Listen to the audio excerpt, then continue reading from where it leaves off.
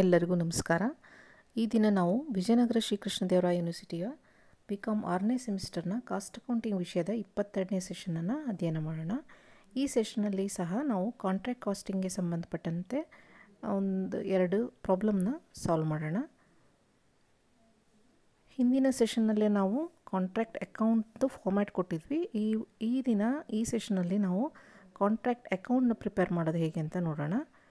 The following were the expenses on a contract which commenced on 1st January 2015. Materials purchased rupees 1,10,000. Materials at the end rupees 1,250. Direct wages rupees 15,000. Plant issued rupees 5,000. Direct wages rupees 8,000. Con- the contract price was rupees 1,50,000. It was duly received when the contract was completed on 31 3 2015. Charge indirect expenses at 15% on wages and provide rupees 1000 for depreciation on plant. Prepare the contract account and contractees account. ಈ ಕ್ವೆಶನಲ್ಲಿ ನಮಗೆ contract account ಮತ್ತು ಕಾಂಟ್ರಾಕ್ಟಿ account ಎರಡು prepare ಮಾಡಲಿಕ್ಕೆ ಹೇಳಿದ್ದಾರೆ so ಇದು comments ಆಗಿರೋದು first ಜನವರಿ two thousand ಫಿಫ್ಟೀನಿಗೆ so ಹಾಗೆ ಕಂಪ್ಲೀಟ್ ಆಗಿರೋದು thirty one three two thousand ಫಿಫ್ಟೀನ್ಗೆ ಅಂದರೆ ತ್ರೀ ಮಂತ್ಸ್ ಒಳಗೆ ಈ ಕಾಂಟ್ರಾಕ್ಟು ಕಂಪ್ಲೀಟ್ ಆಗಿದೆ. ಸೊ ಅದಕ್ಕೆ ಸಂಬಂಧಪಟ್ಟಿದ್ದು ಇನ್ಫಾರ್ಮೇಷನ್ ಇದೆ. ಸೊ ಕಾಂಟ್ರಾಕ್ಟ್ ಅಕೌಂಟು ಟಿ ಫಾರ್ಮಲ್ಲಿ ಇರುತ್ತೆ ಅಂತ ಗೊತ್ತು. ಸೊ ಎಲ್ಲ ಎಕ್ಸ್ಪೆನ್ಸಸ್ನ ಡೆಬಿಟ್ ಮಾಡ್ತೀವಿ. ಅದೇ ಥರ ಇನ್ಕಮ್ಸ್ ಏನಾದ್ರು ಇದ್ದರೆ ಅದು ಮತ್ತು ಪ್ಲ್ಯಾಂಟ್ ಇದ್ದರೆ plant at site material at site work in progress so ಅದನ್ನೆಲ್ಲನೂ credit ಸೈಡಲ್ಲಿ ನಾವು ಎಂಟ್ರಿ ಮಾಡಬೇಕಾಗತ್ತೆ. ಸೊ ಫಾರ್ಮ್ಯಾಟು ಹಿಂದಿನ ಸೆಷನಲ್ಲಿ ಹಿಂದೆ ಫಸ್ಟ್ ಸೆಷನ್ ಸೆಕೆಂಡ್ ಸೆಷನಲ್ಲಿ ಕೊಟ್ಟಿದ್ವಿ ಕಾಂಟ್ರ್ಯಾಕ್ಟಿಂದು ಓಕೆ ಫಾರ್ಮ್ಯಾಟ್ ಹಾಕ್ಕೊಳ್ಳೋಣ contract account for the year ending thirty one twelve two thousand fifteen thirty one twelve two thousand ಫಿಫ್ಟೀನ್ಗೆ ನಾವು ಎಂಡ್ ಮಾಡ್ತಾ ಇಲ್ಲ. Thirty one three two thousand ಫಿಫ್ಟೀನ್ಗೆ end ಮಾಡಿದ್ರು ಸಹ ನಾವಿಲ್ಲಿ. Thirty one three thirty one twelve two thousand ಫಿಫ್ಟೀನ್ಗೆ account year ಎಂಡಿಗೆ ನಾವು ಅಲ್ಲಿ ಹಾಕ್ಕೊಳ್ತಾ ಇದ್ದೀವಿ.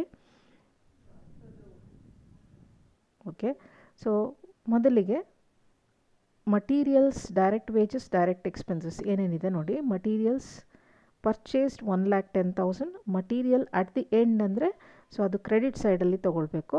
ಡೈರೆಕ್ಟ್ ವೇಜಸ್ ಇದೆ fifteen thousand plant issued five thousand ಇದೆ. Direct expenses eight thousand so ಇದರಲ್ಲಿ ಎಕ್ಸ್ಪೆನ್ಸಸ್ ಯಾವ್ಯಾವುದು ಅಂದರೆ ಮಟೀರಿಯಲ್ ಪರ್ಚೇಸ್ಡ್ ಒಂದಿದೆ.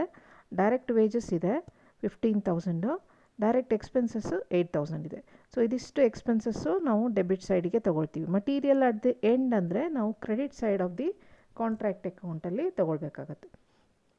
The contract price was rupees one lakh fifty thousand so ಇದು ತ್ರೀ ಮಂತ್ಸ್ ಒಳಗೆ ಕಂಪ್ಲೀಟ್ ಆಗ್ತಾ ಇದೆ. It was duly received when the contract was completed on thirty one three two thousand fifteen so amount one lakh fifty thousand ಪೂರ್ತಿ ಅಮೌಂಟನ್ನು thirty one three two thousand ಫಿಫ್ಟೀನ್ಗೆ receive ಮಾಡ್ತಾ ಇದ್ದಾರೆ ಅಂತ ಕೊಟ್ಟಿದ್ದಾರೆ. Okay so next charge indirect expenses at fifteen percent on wages ಅಂತ ಕೊಟ್ಟಿದ್ದಾರೆ. Wages ಎಷ್ಟಿದೆ? Fifteen thousand ಅದ್ರ ಮೇಲೆ ಫಿಫ್ಟೀನ್ ಪರ್ಸೆಂಟ್ ಅದು ಒಂದು ಎಕ್ಸ್ಪೆನ್ಸ್ ಆಗುತ್ತೆ. ಅದನ್ನು ಸಹ ಡೆಬಿಟ್ ಸೈಡಲ್ಲಿ ತೊಗೊಳ್ಬೇಕು.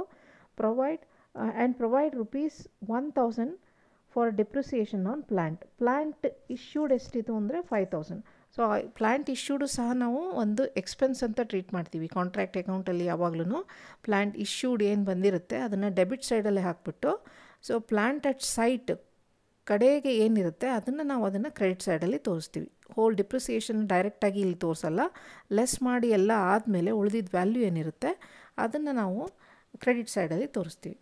Okay so material purchased direct wages direct expenses indirect expenses and then plant issued ಅದಷ್ಟು ನಮಗೆ ಡೆಬಿಟ್ ಸೈಡಲ್ಲಿ ಎಂಟ್ರಿ ಮಾಡಬೇಕು. Material one lakh ten thousand ಇದೆ. Okay direct wages fifteen thousand direct expenses eight thousand so indirect expenses direct wages ಮೇಲೆ fifteen percent ಅಂತ ಹೇಳಿದ್ದಾರೆ. So fifteen percent of fifteen thousand ನಮಗೆ two thousand two fifty ಆಯಿತು. So ಅದು ಒಂದು expense ಆದ್ದರಿಂದ ನಾವು ಡೆಬಿಟ್ ಸೈಡಲ್ಲಿ ಬರಿತಾ ಇದ್ದೀವಿ. ನೆಕ್ಸ್ಟ್ ಪ್ಲ್ಯಾಂಟ್ ಇಶ್ಯೂಡ್ ಎಷ್ಟಿದೆ ಫೈವ್ ತೌಸಂಡ್ ಇತ್ತು. ಸೊ ಫೈವ್ ತೌಸಂಡನ್ನ ಇಲ್ಲಿ ಹಾಕ್ಕೊಳ್ಬೇಕು ಸೊ ಅದರದ್ದು ವ್ಯಾಲ್ಯೂ ಅಟ್ ದ ಎಂಡ್ ನಾವು ಅದನ್ನು ಆಮೇಲೆ ತೋರಿಸ್ಬೇಕಾಗತ್ತೆ. ಓಕೆ ಮಟೀರಿಯಲ್ ನೆಕ್ಸ್ಟ್ ಕ್ರೆಡಿಟ್ ಸೈಡಲ್ಲಿ ಏನೇನು ಬರುತ್ತೆ ನೋಡಿ. ಕ್ರೆಡಿಟ್ ಸೈಡಲ್ಲಿ ಮಟೀರಿಯಲ್ ಅಟ್ ದಿ ಎಂಡ್ ಕೊಟ್ಟಿದ್ದಾರೆ. So material at the end it it is given thousand two fifty so thousand two fifty ನಮ್ಮದು ಮಟೀರಿಯಲ್ ಅಟ್ ದಿ ಎಂಡ್ ಇದೆ. ಅದನ್ನು ಸಹ ಕ್ರೆಡಿಟ್ ಸೈಡಲ್ಲಿ ಅದೇ ಥರ ಪ್ಲ್ಯಾಂಟ್ ಅಟ್ ದಿ ಎಂಡ್ ಇರುತ್ತೆ.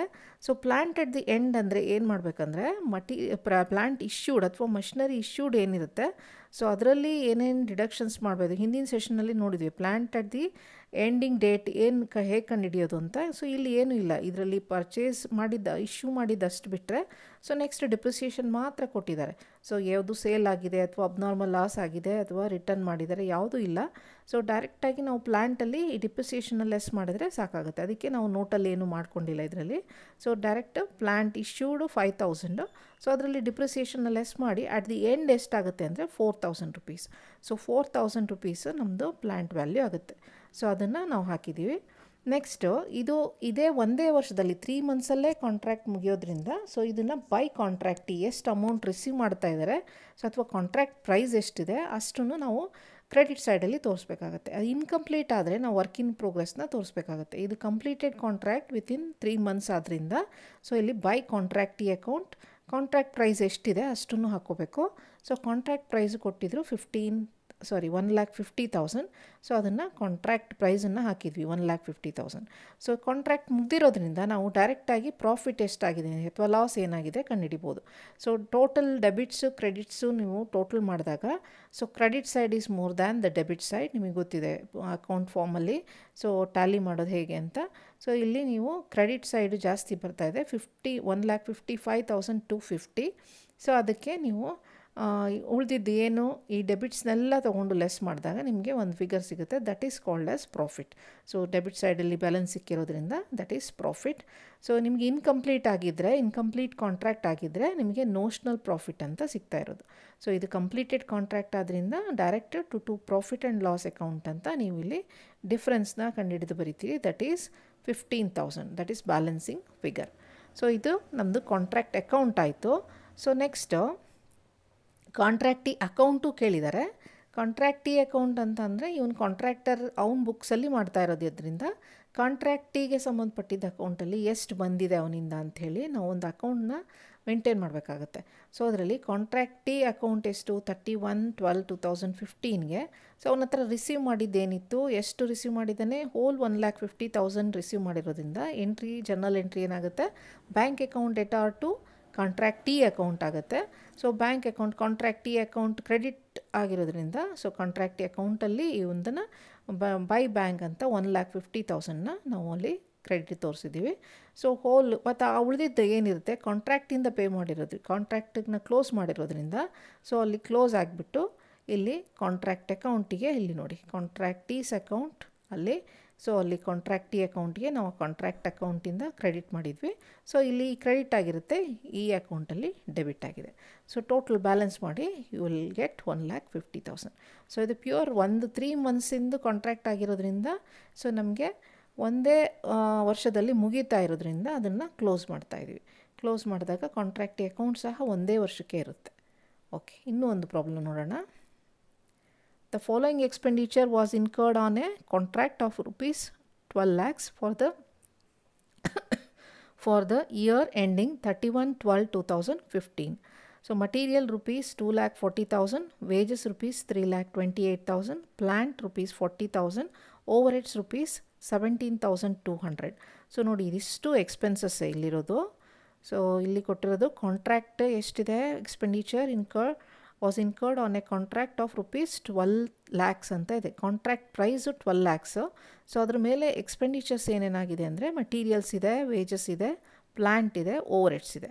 Cash received on account of the contract to thirty first December two thousand fifteen was rupees four lakh eighty thousand so four lakh eighty thousand two thousand fifteen December thirty first two thousand ಫಿಫ್ಟೀನಿಗೆ year ಎಂಡಿಗೆ ಅದರದ್ದು ಎಷ್ಟು cash receive ಮಾಡಿದ್ರಂದರೆ eighty four lakh eighty thousand ಮಾತ್ರ being eighty percent of work certified so work certified ಎಷ್ಟಿತ್ತು ಅದರಲ್ಲಿ eighty percent cash receive ಮಾಡಿದ್ದಾರೆ ಅಂತ ಕೊಟ್ಟಿದ್ದಾರೆ.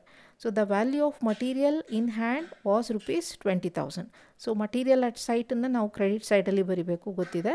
The plant had undergone twenty percent depreciation prepare contract ಇದು ಒಂದು ಸಿಂಪಲ್ ಪ್ರಾಬ್ಲಮ್ಮೇ ಬಟ್ ಇಲ್ಲೇನಾಗುತ್ತೆ ಅಂದರೆ last ಪ್ರಾಬ್ಲಮಲ್ಲಿ ಒಂದೇ ವರ್ಷದಲ್ಲಿ ಮುಗ್ದೋಗಿತ್ತು.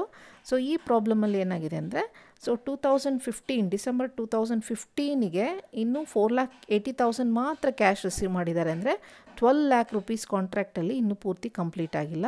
This is incomplete contract incomplete contract ಆದಾಗ ಹೇಗೆ ಬರಿತೀವಿ ಅಂತ ನೋಡೋಣ. Okay contract account for the year ending thirty one December thirty first December two thousand fifteen particulars debit credit ಎರಡೂ ಇರುತ್ತೆ ಟಿ ಫಾರ್ಮಲ್ಲಿ ಓಕೆ ಸೊ ಅದರಲ್ಲಿ ಎಕ್ಸ್ಪೆನ್ಸಸ್ ಎಲ್ಲ ಡೆಬಿಟ್ ಸೈಡಲ್ಲಿ ಎಂಟ್ರಿ ಮಾಡಿ materials two lakh forty thousand wages three lakh twenty eight thousand ಇಲ್ಲಿ ನೋಡಿ two lakh forty thousand and then wages three lakh twenty eight thousand plant rupees forty thousand overheads rupees seventeen thousand two hundred okay ಇದಿಷ್ಟು ನಮಗೆ expenses materials ಇದೆ two lakh forty thousand wages three lakh twenty eight thousand plant rupees forty thousand overheads rupees seventeen thousand two hundred ಇದಿಷ್ಟು expenditures credit ಸೈಡಲ್ಲಿ ಏನೇನು ಬರುತ್ತೆ? Materials in hand and plant at site plant in hand ಅನ್ಬೋದು ಅಥವಾ plant at site ಅನ್ಬೋದು. So materials ಯಾವಾಗಲೂ ಸಾಮಾನ್ಯವಾಗಿ ಅವರೇ ಕೊಟ್ಟಿರ್ತಾರೆ.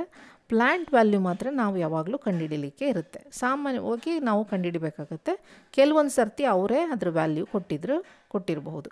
ಸೊ ಇಲ್ಲಿ value of material in hand was rupees twenty thousand so next plant had undergone twenty percent depreciation ಅಂತ ಕೊಟ್ಟಿದ್ದಾರೆ. ಸೊ ಇಲ್ಲಿ materials in hand twenty thousand ಬರ್ಕೊಂಡ್ರಿ plant in hand ಅಂತ ಕೊಟ್ಟಿದ್ದಾರೆ. ಸೊ ಪ್ಲ್ಯಾಂಟ್ ಇನ್ ಹ್ಯಾಂಡ್ ಅಂತ ಹೇಳಿದಾಗ so ಇಲ್ಲಿ twenty percent ಡಿಪ್ರಿಸಿಯೇಷನ್ನ ಮಾಡಿ ಅಂತ ಹೇಳಿದ್ದಾರೆ. ಇದಕ್ಕೂ ಸಹ ನೋಟ್ ಮಾಡ್ಕೊಂಡಿಲ್ಲ. ನೋಟ್ಸಲ್ಲಿ ಬರೆದಿಲ್ಲ ವರ್ಕಿಂಗ್ ನೋಟ್ಸ್ ಯಾಕೆ ಅಂದರೆ ಇಲ್ಲಿ ಏನು ನಮಗೆ ಡಿಡಕ್ಷನ್ಸ್ ಯಾವುದೂ ಇಲ್ಲ ಡಿಪ್ರಿಸಿಯೇಷನ್ ಬಿಟ್ಟೆ. ಆದ್ದರಿಂದ ಸೊ ಪ್ಲ್ಯಾಂಟ್ ನಾವು ಇಶ್ಯೂ ಮಾಡಿದ್ದು ನಮಗೆ ಫೋರ್ಟಿ ತೌಸಂಡು ಸೊ ಅದ್ರ ಮೇಲೆ twenty percent one year complete use ಮಾಡಿರೋದ್ರಿಂದ ಸೊ ನಮಗೆ twenty percent on forty thousand thirty two thousand ಆಗುತ್ತೆ. ಅಂದರೆ ಸಾರಿ ಏಯ್ಟ್ ತೌಸಂಡ್ ಆಗುತ್ತೆ. So eight thousand forty thousand less ಮಾಡಿ ಥರ್ಟಿ ಟೂ ತೌಸಂಡ್ ನಮಗೆ ಪ್ಲಾಂಟೆಡ್ ಸೈಟ್ ಅಥವಾ ಪ್ಲಾಂಟ್ ಇನ್ ಹ್ಯಾಂಡ್ ಆಗುತ್ತೆ.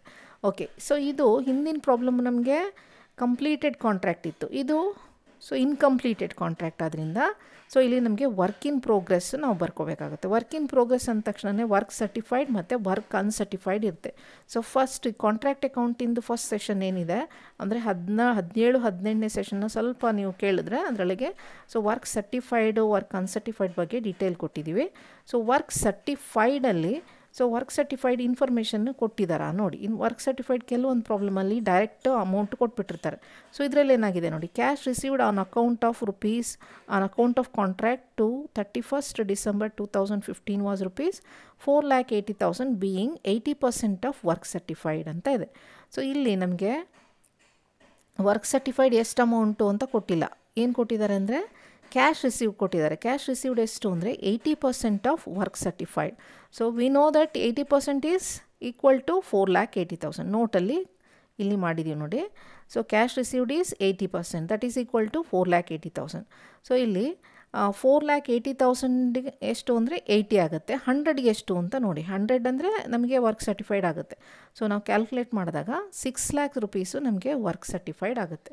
So first ಅದನ್ನು ಕ್ಯಾಲ್ಕುಲೇಟ್ ಮಾಡ್ಕೋಬೇಕು. ಇಲ್ಲಿ ನೋಟ್ ಒನ್ ಅಂತ ಬರೆದಿದ್ದೀನಿ. ಅದೇ ಥರ ಇಲ್ಲಿ ನೋಟ್ ಒನ್ನಲ್ಲಿ ಇದೆ.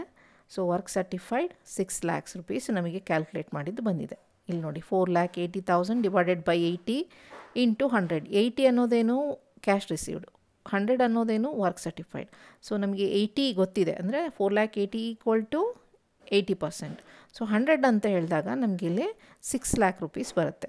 ಓಕೆ ಸಿಕ್ಸ್ ಲ್ಯಾಕ್ ರುಪೀಸ್ನ ಹಾಕಿದ್ದೀವಿ ವರ್ಕ್ ಅನ್ಸರ್ಟಿಫೈಡ್ ಬಗ್ಗೆ ನಮಗೆ ಪ್ರಾಬ್ಲಮಲ್ಲಿ ಏನು ಇನ್ಫಾರ್ಮೇಷನ್ ಇಲ್ಲ. ಸೊ ಡೈರೆಕ್ಟು ನಮಗೆ ಬರ, ಅದೊಂದೇ ಕೊಟ್ಟಿರೋದು. ವರ್ಕ್ ಸರ್ಟಿಫೈಡ್ನು ಇಂಡೈರೆಕ್ಟಾಗಿ ಕೊಟ್ಟಿದ್ರು, ನಾವು ಅದನ್ನು ಕ್ಯಾಲ್ಕುಲೇಟ್ ಮಾಡಿದ್ವಿ.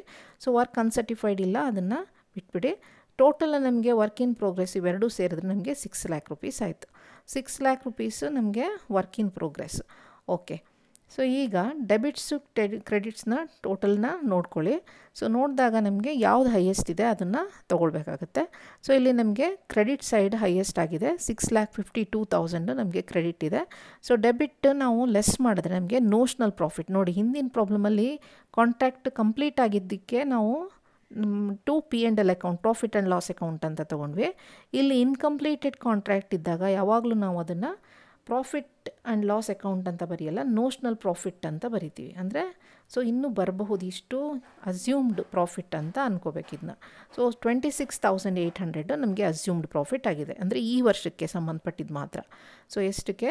ಈ ಟೂ ತೌಸಂಡ್ ಫಿಫ್ಟೀನ್ ಇಯರ್ಗೆ twenty six thousand eight hundred rupees ನಮಗೆ ಪ್ರಾಫಿಟ್ ಅಸ್ಯೂಮ್ಡ್ ಪ್ರಾಫಿಟ್ ಸಿಕ್ಕಿದೆ. ಸೊ ಈಗ ಈ ಪ್ರಾಫಿಟ್ ನಾವು ಪೂರ್ತಿಯಾಗಿ ನಾವು ಅದನ್ನು ಪಿ ಎನ್ ಎಲ್ ಅಕೌಂಟ್ಗೆ ಟ್ರಾನ್ಸ್ಫರ್ ಮಾಡೋಕ್ಕಾಗಲ್ಲ. ಸೊ ಇದ್ರ ಬಗ್ಗೆ ನಾವು ಹಿಂದಿನ ಟ್ವೆಂಟಿಯತ್ ಸೆಷನಲ್ಲಿ ಟ್ವೆಂಟಿ ಟ್ವೆಂಟಿ ಒನ್ ಸೆಷನಲ್ಲಿ ನಾವು ಅದನ್ನು profit to be transfer to P and L account ಹೇಗೆ ಅಂತ ನೋಡಿದ್ವಿ ನಾವು. ಸೊ ಅದನ್ನು ಹೇಗೆ ಕ್ಯಾಲ್ಕುಲೇಟ್ ಮಾಡೋದು ಅಂತ ಡೀಟೇಲಾಗಿ ನೋಡಿದ್ವಿ. ಸೊ ಇದರಲ್ಲೂ ಸಹ ಅದನ್ನು ನೋಟ್ ಟೂ ಅಲ್ಲಿ ಕ್ಯಾಲ್ಕುಲೇಟ್ ಮಾಡಿ ತೋರಿಸಿದ್ದೀವಿ calculation of profit to be transfer to P and L account so notional ಪ್ರಾಫಿಟ್ಟಲ್ಲಿ ಎಷ್ಟನ್ನು ನಾವು ಪಿ ಎಲ್ ಅಕೌಂಟ್ಗೆ ಟ್ರಾನ್ಸ್ಫರ್ ಮಾಡಬೇಕು? ಇನ್ನು ಉಳಿದಿದ್ದನ್ನು ರಿಸರ್ವ್ಗೆ ಹೇಗೆ ಟ್ರಾನ್ಸ್ಫರ್ ಮಾಡಬೇಕು ಅಂತ? So profit to be transfer to P L account ಮಾಡೋಕ್ಕೆ ಮುಂಚೆ ನಮಗೆ ಪೋರ್ಷನ್ ಆಫ್ ವರ್ಕ್ ಕಂಪ್ಲೀಟೆಡ್ ತುಂಬ important portion of work completed ಹೇಗೆ ಕಂಡುಹಿಡಿಯೋದು ಅಂದರೆ ವರ್ಕ್ ಕಂಪ್ಲೀಟೆಡ್ ಅಥವಾ work certified divided by contract price into hundred ಅಂದರೆ ಪರ್ಸೆಂಟೇಜಲ್ಲಿ ಕಂಡಿಡ್ಕೊಳ್ಳಿ. ಸೊ ವರ್ಕ್ ಸರ್ಟಿಫೈಡು ಇಲ್ಲಿ ಕಂಡು ಕಂಡಿಡ್ದಿದ್ದೀವಿ ನಮ್ಮ ಮೇಲೆ. ಸಿಕ್ಸ್ ಲ್ಯಾಕ್ ರುಪೀಸ್ ಬಂದಿತ್ತು. ಕಾಂಟ್ರಾಕ್ಟ್ ಪ್ರೈಸು ಅವರೇ ಕೊಟ್ಟಿದ್ದಾರೆ. ಇಲ್ಲಿ ಟ್ವೆಲ್ ಲ್ಯಾಕ್ಸ್ ಅಂತ. So work certified is six lakhs contract price is twelve lakhs into hundred ಮಾಡಿದರೆ ಫಿಫ್ಟಿ ಪರ್ಸೆಂಟ್ ಆಯಿತು. ಪರ್ಸೆಂಟೇಜಲ್ಲಿ ನೋಡಿದಾಗ fifty percent so fifty percent ಇದ್ದಾಗ ನಾವು ಸೊ ನೋಡಿ ಒಂದು ಹಿಂದಿನ ಸೆಷನ್ಗಳಲ್ಲೇ ನಾವು ನೋಡಿದ್ವಿ ಟ್ವೆಂಟಿ ಫೈವ್ ಪರ್ಸೆಂಟ್ಗಿಂತ ಕಡಿಮೆ ಇದ್ದರೆ no profit should be transfer to P and L account twenty five percent and above but less than fifty percent ಇದ್ದರೆ notional profit into one by three into cash receive divided by work certified so ಇಲ್ಲೇನಾಗಿದೆ? Less than fifty ಇದ್ದರೆ ಇಲ್ಲಿ fifty and above ಇದ್ದಾಗ but less than seventy five ಇದ್ದಾಗ notional profit into two by three into cash receive divided by work ಸರ್ಟಿಫೈಡ್ನ ಹಾಕ್ಕೊಂಡು ಮಾಡಬೇಕು ಈ ಫಾರ್ಮುಲಾನ so ಇಲ್ಲಿ notional profit ಬಂದಿತ್ತು ನಮಗೆ twenty six thousand eight hundred ಇಲ್ಲಿ ಕ್ಯಾರಿ ಡೌನ್ ಮಾಡಿದ್ದೀವಿ ಕ್ಯಾರಿ ಡೌನ್ ಮಾಡಿ ಇಲ್ಲಿ ಬ್ರಾಡ್ ಡೌನ್ ಮಾಡಿದ್ವಿ twenty six thousand eight hundred so ಅದನ್ನು ಡಿವೈಡ್ ಮಾಡಬೇಕು ಎರಡರಲ್ಲಿ. ಯಾವುದು? ಒಂದು ಪ್ರಾಫಿಟ್ ಆ್ಯಂಡ್ ಲಾಸ್ ಅಕೌಂಟ್ಗೆ ಇನ್ನೊಂದು ರಿಸರ್ವ್ಗೆ ಓಕೆ ಸೊ ಇಲ್ಲಿ twenty six thousand eight hundred into two eighty by hundred ಮಾಡಿದಾಗ ನಿಮಗೆ fourteen thousand two ninety three rupees ಸಿಗುತ್ತೆ. ಸೊ ಇದು ಈ ಪೋರ್ಷನ್ ಏನಿದೆ profit to be transfer to P and L account so ಹಾಗೆ ರಿಸರ್ವ್ಗೆ ಅಂತ ಹೇಳಿದಾಗ ನಾವು ಅದನ್ನು ಬ್ಯಾಲೆನ್ಸ್ ಮಾಡಿ ನೋಡಬೇಕು. ಅಥವಾ ಇಲ್ಲಿ difference ಕಂಡುಹಿಡಿರಿ notional profit minus profit transfer to P and L account notional profit twenty six thousand eight hundred ಇತ್ತು. ನಮಗೆ profit transfer to P and L account fourteen thousand two ninety three so deduction ಮಾಡಿದಾಗ ನಮಗೆ twelve thousand five nought seven ರಿಸರ್ವ್ಗೆ transfer ಮಾಡಬೇಕು ಅಂತ ಗೊತ್ತಾಯಿತು. Okay ಇಲ್ಲಿ ನೋಡಿ, ಇಲ್ಲಿದೆ. Fourteen thousand two ninety three ರಿಸರ್ವ್ಗೆ ಅದ್ರ ಬ್ಯಾಲೆನ್ಸ್ ಮಾಡಿದ್ದೀವಿ ಅಥವಾ ಅಲ್ಲಿ ಅದರಲ್ಲಿ ಮೈನಸ್ ಮಾಡಿ ಇಟ್ಟಿದ್ವಿ. Twelve thousand five nought seven so ಇದು ನಮಗೆ ಎಷ್ಟು ಟ್ರಾನ್ಸ್ಫರ್ ಮಾಡೋದು ಅಂತ ಗೊತ್ತಾಯಿತು. ಸೊ ಫಸ್ಟ್ ಪ್ರಾಬ್ಲಮಲ್ಲಿ ಇದರಲ್ಲಿ ಒಂದೇ ತ್ರೀ ಮಂತ್ಸ್ಗೆ ನಮಗೆ ಒಂದು ವರ್ಷದಲ್ಲೇ complete ಆಗೋವಂಥದ್ದು completed con contract is completed within one year ಇದ್ದಾಗ ಪೂರ್ತಿ ನಾವಿಲ್ಲಿ ಈ ಫಾರ್ಮ್ಯಾಟಲ್ಲಿ ಹಾಕ್ಕೊಳ್ತೀವಿ ಇಲ್ಲಿ ಬೈ ಕಾಂಟ್ರಾಕ್ಟಿ ಅಕೌಂಟ್ ಅಂದ್ಬಿಟ್ಟು ಕಾಂಟ್ರಾಕ್ಟ್ ಅಮೌಂಟ್ ಎಷ್ಟಿದೆ ಪ್ರೈಸ್ ಎಷ್ಟಿದೆ ಅಷ್ಟನ್ನು ಹಾಕ್ಕೊಂಡು ಅಕೌಂಟ್ನ ಕ್ಲೋಸ್ ಮಾಡಿಬಿಡ್ತೀವಿ. ಅದನ್ನು ಬಂದಿದ್ದು ಪ್ರಾಫಿಟ್ ಅಥವಾ ಲಾಸ್ ಇದ್ದರೆ ಅದನ್ನು ಪಿ ಎಂಡ್ ಎಲ್ ಅಕೌಂಟ್ಗೆ ಟ್ರಾನ್ಸ್ಫರ್ ಮಾಡ್ತೀವಿ ಸೊ ಅದೇ ಸೊ ಸೆಕೆಂಡ್ ಇಯರ್ಗೆ ಅಥವಾ ಥರ್ಡ್ ಇಯರ್ಗೆ ಅದಿನ್ನೂ ಮುಂದಕ್ಕೆ ಹೋಗ್ತಾ ಇದೆ ಅಂದರೆ ಕಾಂಟ್ರ್ಯಾಕ್ಟು ಅಲ್ಲಿ ಇನ್ಕಂಪ್ಲೀಟ್ ಕಾಂಟ್ರ್ಯಾಕ್ಟ್ ಆಗುತ್ತೆ. ಇನ್ಕಂಪ್ಲೀಟ್ ಕಾಂಟ್ರ್ಯಾಕ್ಟ್ ಆದಾಗ ನಮಗೆ ವರ್ಕ್ ಇನ್ ಪ್ರೋಗ್ರೆಸ್ ಬರುತ್ತೆ. ವರ್ಕ್ ಇನ್ ಪ್ರೋಗ್ರೆಸ್ಸಲ್ಲಿ ವರ್ಕ್ ಸರ್ಟಿಫೈಡ್ ಮತ್ತು ಅನ್ಸರ್ಟಿಫೈಡ್ ಇರುತ್ತೆ. ಆಮೇಲೆ ನೋಷ್ನಲ್ ಪ್ರಾಫಿಟ್ ಬರುತ್ತೆ. ಆ ನೋಷ್ನಲ್ ಪ್ರಾಫಿಟ್ ಬಂದಾಗ ನಾವು ಅದನ್ನು ಹೇಗೆ ನೋಷ್ನಲ್ ಪ್ರಾಫಿಟನ್ನು ಎಷ್ಟನ್ನು, ಎಷ್ಟು ಪೋರ್ಷನ್ನ ಪಿ ಎಂಡ್ ಎಲ್ ಅಕೌಂಟ್ಗೆ ಟ್ರಾನ್ಸ್ಫರ್ ಮಾಡಬೇಕು, ಎಷ್ಟು ಪೋರ್ಷನ್ನ ರಿಸರ್ವ್ಗೆ ಟ್ರಾನ್ಸ್ಫರ್ ಮಾಡಬೇಕು ಅನ್ನೋದನ್ನ ನೋಡ್ಕೋಬೇಕಾಗತ್ತೆ. ಸೊ ಪೋರ್ಷನ್ ಅದರಲ್ಲಿ, ಇದರಲ್ಲಿ ಇನ್ನೂ ಒಂದು ಏನು ಕಂಡುಹಿಡಿದ್ವಿ ಅಂದರೆ ಕ್ಯಾಶ್ ರಿಸೀವ್ಡ್ ಕೊಟ್ಟಾಗ ವರ್ಕ್ ಸರ್ಟಿಫೈಡ್ ಹೇಗೆ ಕಂಡುಹಿಡಿಬೇಕು ಅನ್ನೋದನ್ನು ಸಹ ಇಲ್ಲಿ ನೋಡಿದ್ವಿ. ಸೊ ಇದು ಒಂದು ಪಾಯಿಂಟ್ ಇನ್ನೂ ಒಂದು profit to be transfer to P and L account ಹೇಗೆ ಕಂಡುಹಿಡಿಯೋದು ಮತ್ತು ಡಿಫ್ರೆನ್ಸ್ನ ರಿಸರ್ವ್ಗೆ ಹೇಗೆ ಟ್ರಾನ್ಸ್ಫರ್ ಮಾಡೋದು ಅಂತ ನೋಡಿದ್ವಿ. ಥ್ಯಾಂಕ್ ಯು ನೆಕ್ಸ್ಟ್ ಸೆಷನ್ನಲ್ಲಿ ಸಹ ನಾವು ಇನ್ನು ಡೀಟೇಲಾಗಿ ಕಾಂಟ್ರಾಕ್ಟ್ ಅಕೌಂಟ್ನ ಹೇಗೆ ಪ್ರಿಪೇರ್ ಮಾಡೋದು ಅಂತ ನೋಡೋಣ. Thank you